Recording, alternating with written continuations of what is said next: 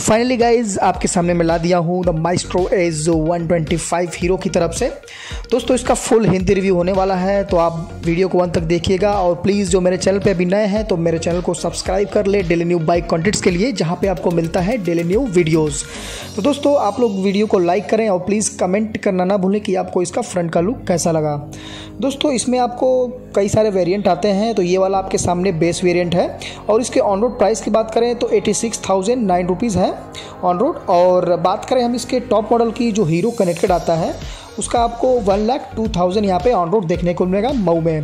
तो दोस्तों, ये वाला कलर आप देख रहे हैं अभी पर्ल सिल्वर वाइट और काफ़ी अच्छा यहाँ पे बॉडी ग्राफिक्स यूज़ किया गया है।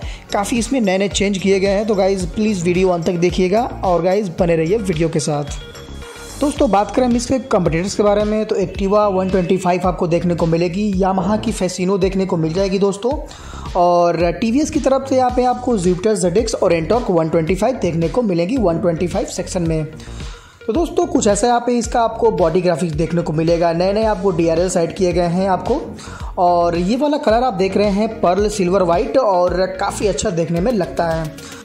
कंपनी ने यहाँ पे न्यू इंस्ट्रूमेंटल क्लस्टर यहाँ पे ऐड किया गया है, जो फुल्ली डिजिटल है दोस्तों, जो हीरो ग्लैमर एक्सटेक में आता है। और बस इसमें आपको जो बेस वेरिएंट है, इसमें आपको कनेक्टेड मॉडल नहीं देखने को मिलेगा। बात करें हम इसके फीचर्स के बारे में तो यहाँ पे आप देख सकते हैं, यहाँ पे इंजन मेल फ़ंक्शन यहाँ पे, और लो फ्यूल इंडिकेटर और यहाँ पे डिजिटली फ्यूल गॉस भी देखने को मिल रहा है आपको। और दोस्तों, यहाँ पे आप देख सकते हैं ओडोमीटर यहाँ पे ट्रिप मीटर देखने को मिलेगा और डिजिटल क्लॉक देखने को मिल रहा है दोस्तों। और इसमें आपको एवरेज भी शो करेगी कि बाइक आपकी कितनी एवरेज दे रही है दोस्तों। और बात करें हम इसके जो हीरो इसका जो कनेक्टेड मॉडल है, उसमें आपको ब्लूटूथ कनेक्टेड ऑप्शन भी दिया गया है, जिससे आपको यहाँ पे इंजन का जो भी नया स्टेटस है, वो आपको देखने को मिलेगा। और दोस्तों, यहाँ पे आपको हीरो की बैजिंग देखने को मिल रही है। बात करें हम इसके राइट हैंडल बार की तो यहाँ पे आई थ्री एस यहाँ पे ऐड किया गया है दोस्तों। और यहाँ पे आपको इंजन का स्टार्ट बटन देखने को मिलेगा।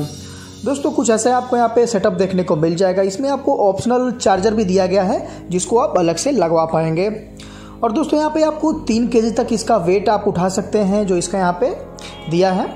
और दोस्तों, बात करें हम इसके लेफ़्ट हैंडल बार की तो इसमें आपको high beam low beam turn indicators और हॉर्न के बटन देखने को मिलेंगे दोस्तों। दोस्तों फ्रंट से लुक कुछ ऐसा यहाँ पे देख रहे हैं दोस्तों। यहाँ पे जो फाइबर का मडगार्ड है, वहाँ पे आपको ग्राफिक्स काफ़ी अच्छी दी गई है। फ्रंट में आप यहाँ पे सेटअप कुछ ऐसा देख सकते हैं 125 की ग्राफिक्स यहाँ पे न्यू न्यू ऐड की गई है और हीरो की आप, की यहाँ पे बैजिंग देख पाएँगे थ्री और फ्रंट में दोस्तों यहाँ पे आपको एलईडी का सेटअप देखने को मिल रहा है और काफ़ी अच्छा देखने में लगता है और लुक काफ़ी अच्छा प्रोवाइड कर रहा है। और बात करें हम इसके इंडिकेटर्स की तो यहाँ पे आपको बल्ब के इंडिकेटर देखने को मिल जाएँगे।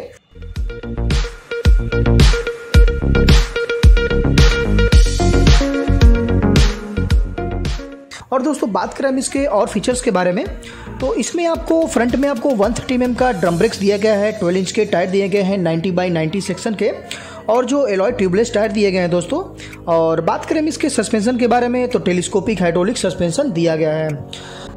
दोस्तों, ये देख रहे हैं आप इसका अंडर सीट स्टोरेज और कुछ ऐसे यहाँ पे आपको देखने को मिल जाएगा। इसमें आपको मिरर्स यहाँ पे इस बॉक्स में दिए गए हैं और यहाँ पे आपको बुक दिया गया होगा। और बात करें हम इसके और फीचर्स के बारे में तो इसमें आप ऑप्शनल चार्जर भी लगवा सकते हैं दोस्तों। और दो फ्रंट में दिया गया है।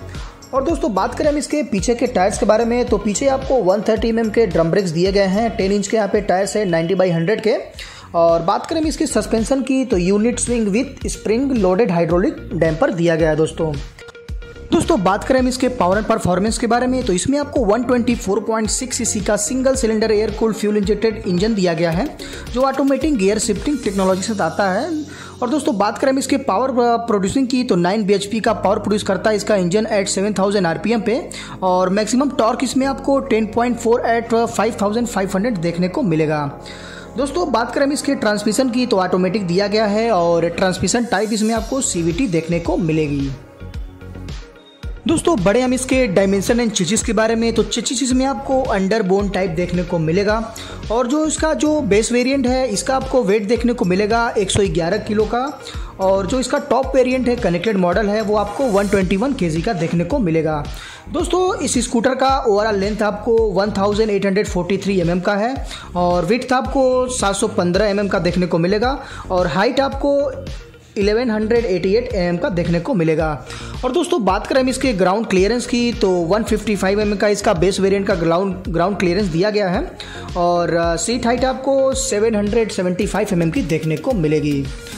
तो दोस्तों, यहाँ पे special thank to Rajput Hero Mau जिन्होंने वीडियो बनाने का मौका दिया। और दोस्तों, कोई भी क्वेरी होगी तो मैं उनका नंबर है और एड्रेस डिस्क्रिप्शन में दे दूँगा। आप वहाँ पे जाके चेकआउट कर सकते हैं और इस बाइक को परचेज कर सकते हैं।